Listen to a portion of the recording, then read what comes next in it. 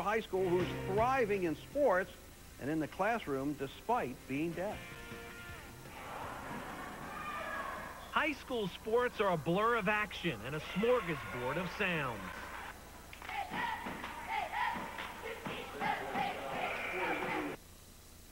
Sounds Keyonna Murrell of Carver can't hear.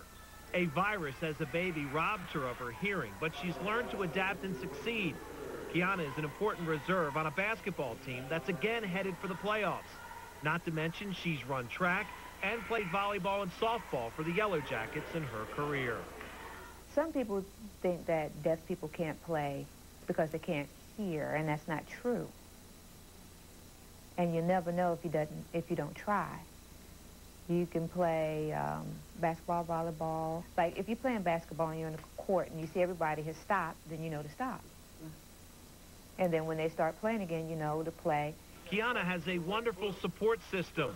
Her mother moved to have her mainstreamed at a very young age. Plus, she's been blessed with the same interpreter since the fifth grade. Sharon Agnew, a sign language specialist, helps Keyonna get through the day. She reads lips well. She communicates well with everyone in class. She has lots of friends. She's very sociable. And uh, she's, um, you know, really a go-getter. Nothing holds her back. And I, and I really enjoy being part of watching that happen every day. Anything that she wanted to do, go for it. I said, but remember one thing, if you do it, you have to finish it. And she did. She's never started anything and didn't finish it.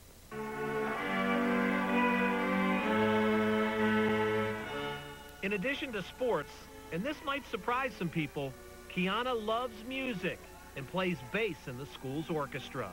I start playing bass because the sound uh, is, is stronger. Cello is a little bit slower, softer, but I really like the bass better because it's louder. I can feel the vibration. Ray Charles, he was blind, but he could play the piano without reading the music. He, he could hear the music, and he knew how to play it and sing it. Same thing with me. I'm deaf, I can't hear it, but I can read music and I can play it. Keyonna, an A student and a member of the National Honor Society, is looking into Gallaudet University, a world-renowned school that caters to deaf students. She hopes to continue playing sports and study ways to bridge the gap between the hearing and the hearing impaired. In Winston-Salem, Kevin Conley, Fox 8 News. Hey, what if that one doesn't fire you up, nothing will. And if you have an idea for a Fox 8 Prep profile, you can call Kevin at 821 1166, 821 1166, or send them an email at that address, kconley at wghp.com. I really love Prep Profile because we get to meet wonderful people like Keyonna. I mean, in order for her to overcome her obstacles and excel like she has, so impressive to know that people are out there like that. The key word is excel. Overcoming is critical, and then excelling, taking it beyond what's mm -hmm. expected. That's the true genius. I, I, was thinking the great composer Beethoven was deaf. Absolutely. Composed his Ninth Symphony, and he couldn't hear. So mm -hmm. uh, obviously, you know, unbelievable there's, there's young a gift there. somewhere You got it. Truly right. an inspirational story, Rich. Is every day. And you can find out why right now, because Murrell is this week's Flow Athlete of the Week. This is what most people hear at a basketball game. This is what Keyonna Murrell hears. A fever and infection when she was three months old cost Murrell her hearing. She's been deaf ever since. It's not hard for me. I just, I feel like just like everybody else. You know, I have to keep on going and, and not give up. I just have to keep going. And I know I can do anything like anybody else. Or maybe even better. The Carver senior was her volleyball team's MVP this year. She scored the hoop that put her basketball team ahead to stay when the Yellow Jackets won the Mary Garber Holiday Classic Tuesday night. And just for good measure, she plays the bass. Since fifth grade, she's had help from Sharon Agnew, her interpreter. They've developed a special bond. I love her so much. She's like a mom to me. Murrell is a Crosby Scholar, a National Honor Society member, and she has taught as much as she's learned.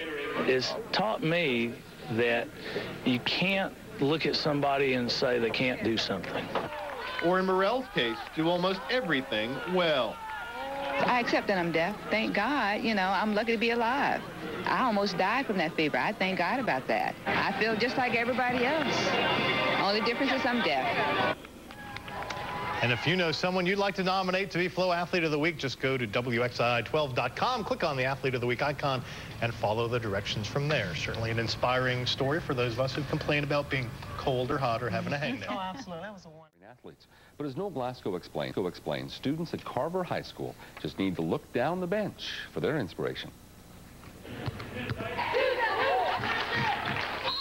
The sounds of basketball. Nikki, get Brittany. Just as much a part of the game as the ball itself.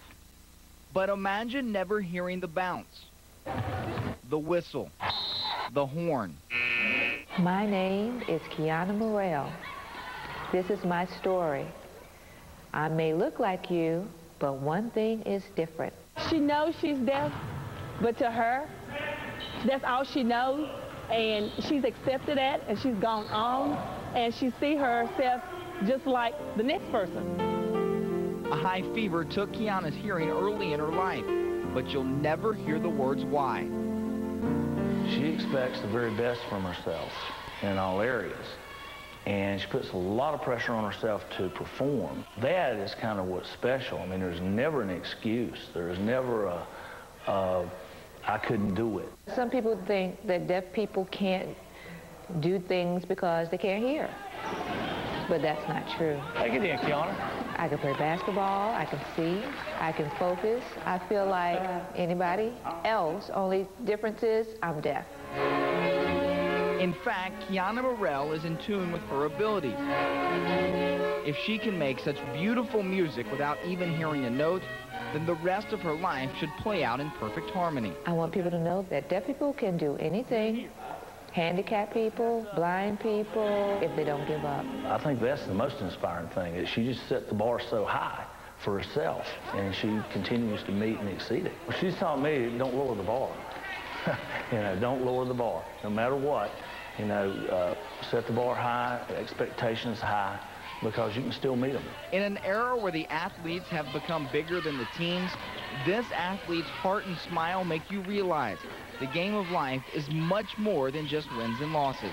She's got this smile and uh, positive attitude, and uh, occasionally she'll get down, uh, but very rarely. Most of the time she's uplifting to everyone. She kind of lifts all our spirits.